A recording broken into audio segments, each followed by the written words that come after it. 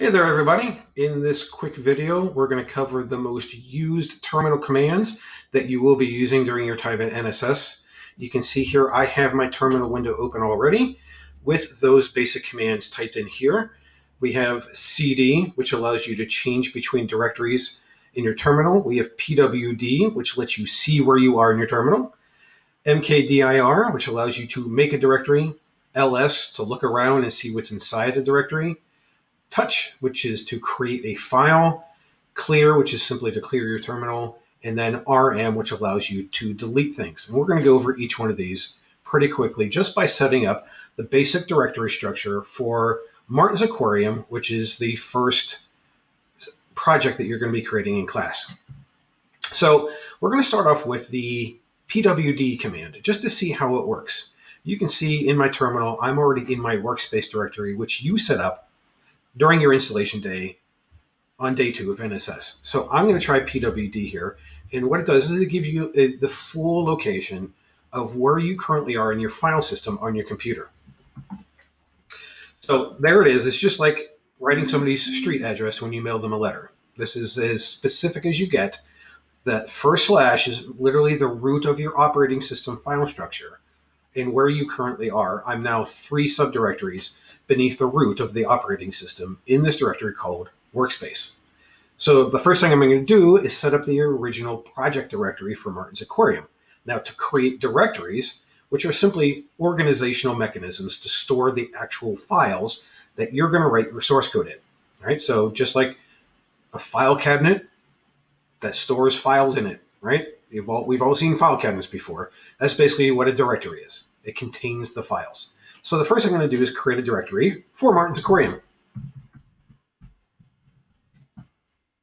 I spelled it wrong. Let's try that again. Aquarium. All right, so that creates a directory. Now you can use the ls command, which I have always shortened to ls, meaning look-see. When I was first learning these commands long time ago, uh, that that's what it let me remember what it is, because I want to take, take a look-see and we'll see what's around me. So ls, you'll see that over here, I've got a lot of directories. You won't have all these directories. But over here, you can see there is the one I just created, Martin's Aquarium. Now, I want to put myself into that directory so that I can create all the files in the directories inside there that I need for my project. So I'm going to cd into the project directory.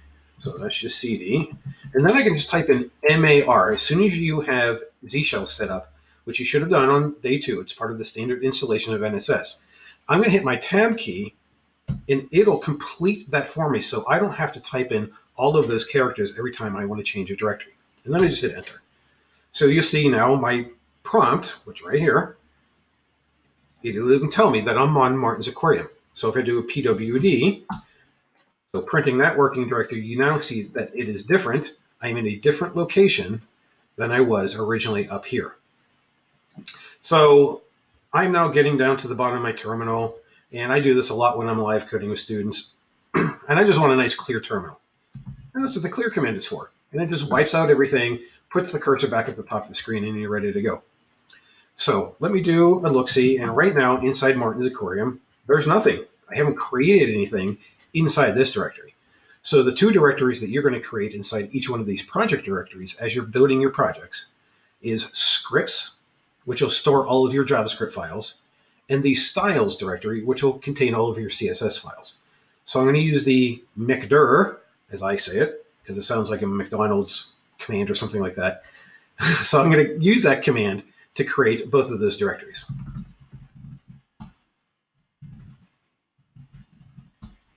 Right, now if I look, see, we will see, and with my color scheme, they're now like a bold blue. And that bold blue means that that is a directory. It will contain files in the future. So now I'm going to create my first file. So mkdir creates directories, and the touch command creates files. So in this, in the main project directory, will contain your HTML file. So touch is the command to create something, and then you just type in the name of the file you want to create, index.html. So if I look see around, I've now got three things inside of my project directory. One file, which is color-coded as blue, in two directories, which is a bold blue. Now I want to create my main JavaScript file, and I want to create my main CSS file.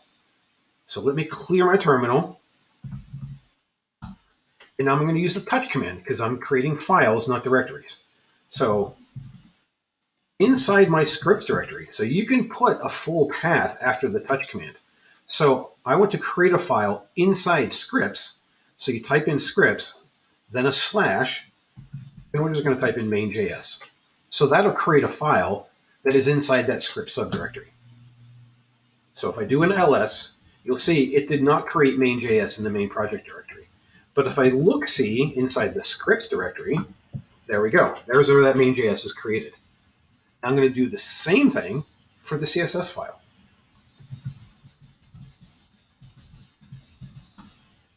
Quick look around. Nothing here in the main project directory.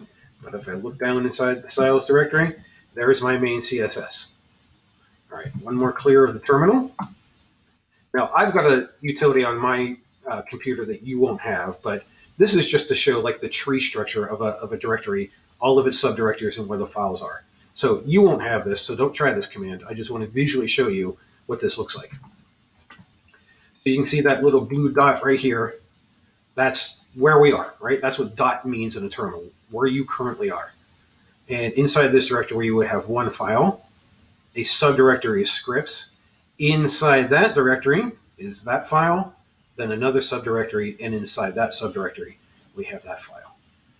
So the last thing I want to show you how to do is to delete a file.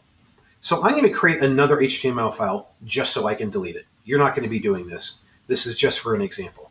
So if I, let's say I mistakenly created an index file, but I spelled it wrong, like this. So, you know, if I do a look-see, I'm like, oh, that's that's certainly not the way you spell index. So I'm going to delete that file, and the command for that is rm, which is short for remove. So remove, delete, same thing. So that one is easier. It is just remove, and then you type in the name of the file you want. So I can just type in inx, hit my tab key. It'll auto-select that entire file name, hit enter, and take another look around, and that file has been deleted. Now, to delete a directory, it's a little bit different.